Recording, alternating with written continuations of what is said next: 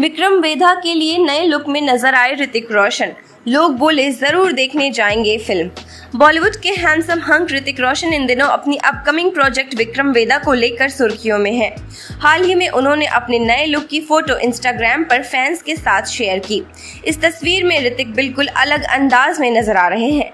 Photo में उनकी दाढ़ी बढ़ रखी है। साथ ही सफ़ेद शर्ट और चश्मे में वो काफ़ी कूल दिखाई दे रहे हैं। अपनी तस्वीर को साझा करते हुए ऋतिक ने इंस्टाग्राम पर लिखा, अशांति पर शांति वेधा बनने की कोशिश जारी। इस फ़िल्म में ऋतिक के अलावा सैफ अली खान भी हैं। ये फ़िल्म इसी नाम की एक तमिल फ़िल्म की रीमेक है, जिसमें विजय सेतुपति और आर माधवन ने अहम रोल निभाया था। ऋतिक का नया लुक सामने आने के बाद फैंस के साथ सेलिब्रिटीज भी अपनी प्रतिक्रिया दे रहे हैं।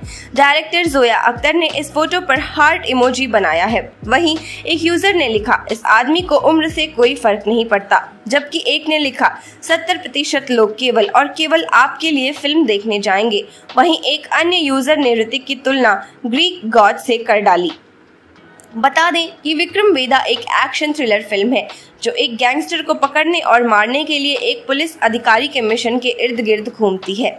इस फ़िल्म में ज़बरदस्त मोड़ आते हैं। फ़िल्म में ऋतिक वेदा की भूमिका निभाएँगे, जबकि सैफ अली खान पुलिस अधिकारी विक्रम के रूप में नज़र आएँगे। इसके अलावा राधिका आप्टे और रोहित शर्राफ भी अहम भूमिका निभाते हुए नज़र आएँगे। फ़िल्म का निर्देशन पुष्कर और गायत्री कर रहे हैं। ओरिजिनल फ़िल्म का डायरेक्शन भी उन्होंने ही किया था। उन्होंने एक बयान में कहा था, हम ऋतिक और सैफ के साथ काम करके खुश हैं। दोनों महान अभिनेता हैं।